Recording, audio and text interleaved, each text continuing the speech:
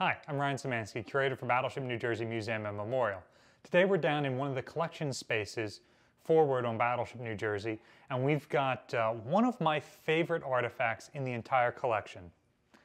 This is a primer belt for one of the 16-inch gun crews. In fact, uh, it is stenciled C gun, so it's for the center gun. It doesn't say specifically which turret it is. Does make sense that if you're one of 80 members of uh, a division in a certain turret, that uh, you wouldn't want somebody else to steal the good belt. Uh, especially since I always assumed that these sorts of things were standard issue and, and uh, general manufacture because there's a ton of uh, guns, especially bag guns, that require primers to fire. And so you would have primer belts like these. But uh, this looks like the sort of thing that was made on board in the ship's sail locker. And it's the same sort of canvas that is used for the awning. Um, it doesn't have any sort of machine tag on it. It's got the, uh, the sorts of grommets that you just punch a hole and then hammer in there. Um, and the attachment is well, it's not the same as you would see on other World War II style belts, let's just say. Um, so, what is this? What is it used for? So first of all, it's essentially a, a cartridge belt. The fact that it's made on board makes me question whether or not uh, these were actually standard issue or if the guy just had a bunch of these in his pocket or something, uh, a bunch of primers in his pocket. So it just laces on And now, just like a cowboy, I've got all of my cartridges here. Now, what sort of cartridges are stored in here? This is a Mark 15 primer. Notice it slots perfectly in there, and uh, it's real easy for me to pull this out and load it. The Mark 15 is uh, an Army design primer. It shows up in Army manuals, but it seems like uh, it is used for Navy bag guns as well bag guns. The 5-inch guns use a brass or, or, sometimes steel or aluminum casing that uh, has all the propellant in it. It has a primer built into the base so that a firing pin can just strike that primer and fire it. The 16-inch guns, the powder for them is stored in silk bags. There isn't any sort of uh, ignition source there. So the breech of the gun has a hole in it for a primer like this to go into. One of the sailors in the 16-inch gun's job is to wear one of these belts, or have a bunch of these in their pockets, I'm not sure what you do in the absence of one of these belts, and uh, stand in the gun pit below the gun. So the gun returns to 5 degrees for the loading angle, the gun captain drops the breech of the gun. At that point, the guy down here pulls the spent primer out from the last time it was fired, just drops it on the deck, apparently, because that's where we found this one in one of the gun pits. And then uh, pulls another one out of his belt, slides it in there. This primer can be ignited one of two ways. Either by percussion, you'll notice that's how this one was fired. It's got a percussion cap in the bottom that uh, has a strike hole on it from where the, uh, the firing pin struck it. So you can fire it using the hammer that's built into the mushroom part of the gun. They'll hit the firing pin, they'll drive into this primer and then uh, cause the ignition. Or say you're firing from uh, main battery plot down inside the ship, you pull the triggers and it sends an electronic signal. And that uh, signal is transferred through the casing of the gun into a, an element on the inside that heats up. It's basically an exposed wire.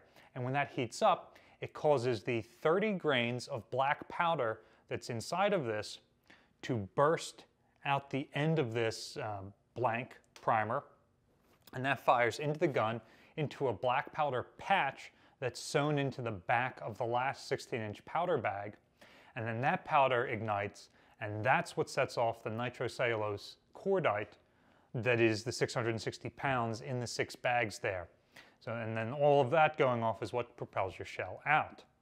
So, um, this is essentially a 30 caliber blank. Here is a 30 caliber round. You notice they're very similar. This has the neck in it for where the bullet would be. This one does not, so very similar manufacturing. This one's got a wider rim for an extractor to pull it out. Uh, this one's rim is uh, indented there a little bit. The real difference is something that you guys can't see. It's the weight of these two rounds. This is practically weightless. This one's still pretty chunky. And uh, that is one, so that it can transmit that electric charge into the uh, firing element inside without burning up. And two, when this goes off, it, it's what, I don't know, 30 grains of powder, 75 grains of powder. I don't quite know what a 30 caliber uh, round has. It, it's a very small amount of powder. When this goes off, there's 660 pounds of propellant exploding that is looking for the easiest escape. The idea is that the easiest escape is by pushing the shell out the muzzle of the gun and not blowing through the breech of the gun back into the gun house where the gun crew is.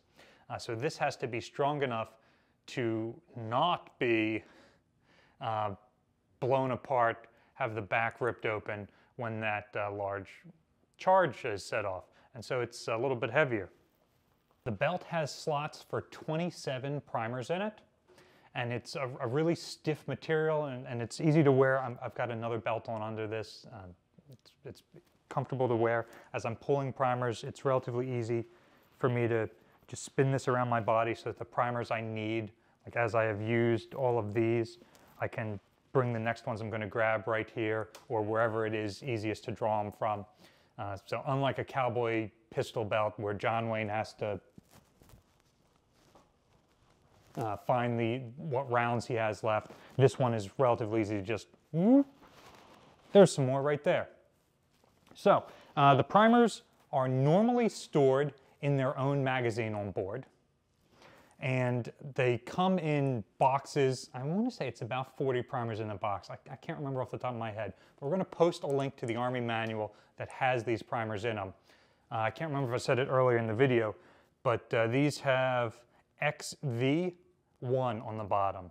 So that means that this is a Mark 15 primer Mod 1.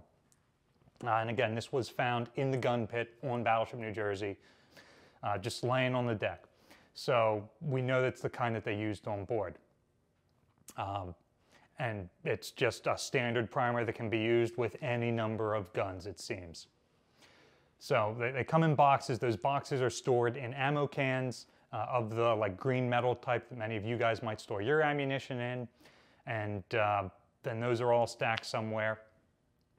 A certain number of these, they're relatively inert. Uh, a certain number of these could just be stored in the gun pit at all times, so you don't have to worry about going and getting them. Uh, off the top of my head, I think it's 40, but we're gonna flash the, the real number on the screen right now, uh, along with a, a, picture of that instruction that's in the gun pit. Uh, and that's telling because that assumes how many rounds you're probably gonna fire in a standard engagement.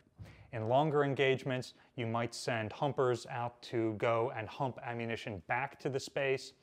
Um, but in a regular engagement, you're expected to have this many just hanging out there. And that's probably going to be in a box. Um, maybe if you have one of these types of gun belts laying around, um, they would already be stacked up in here. And this, interestingly, this can be rolled up relatively tightly. So uh, it might be that it's loaded and then stored in an ammo can or something like that, so it's not just loose sitting out there. A real interesting artifact that I always assumed was uh, just standard issue to the guns, but the fact that it looks like it was made on board, it doesn't have a manufacturer's mark on it, and we only have one in the collection, there aren't nine, um, leads me to believe that maybe this wasn't standard at all. Maybe they just had the box down there and the guy would pull it out of the box every time, except for whatever gunslinger would have worn this. The other possibility is that um, there was a standard version of these belts, and because the battleships are still in service much longer than any other sort of ship with guns similar to this, uh, that those belts had deteriorated over time or been taken as souvenirs. Maybe that's why we've only got one in the collection instead of nine. Everybody else took theirs as a souvenir. Um, that may well be why.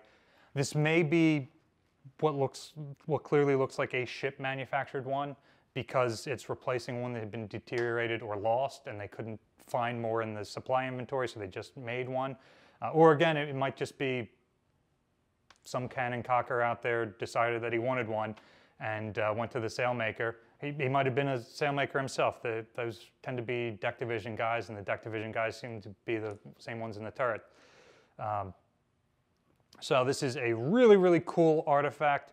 Um, it is down here with a bunch of other objects in the collection that were found on board the ship, which leads me to believe that this was found on board. It could have been, the, the gun chief might have been like, all right, you two can take these as souvenirs. We have to leave one on the ship so when she's reactivated, um, the next time they'll know what they're supposed to use. So, uh, I know there's a bunch of battleship sailors out there. Have any of you guys ever seen a belt like this? Or uh, you heavy cruiser sailors, you also had belt bag guns, except for the Des Moines guys. You guys are just weird uh, with your cased 8 inch ammunition. Weird. Um, if you've ever seen something like this, let me know in the comment section down below. Were these common on Iowa class battleships in the 80s, in the 50s? let us know. I'd love to do more research on this. Like I said, it, it's uh, one of my favorite objects in the collection.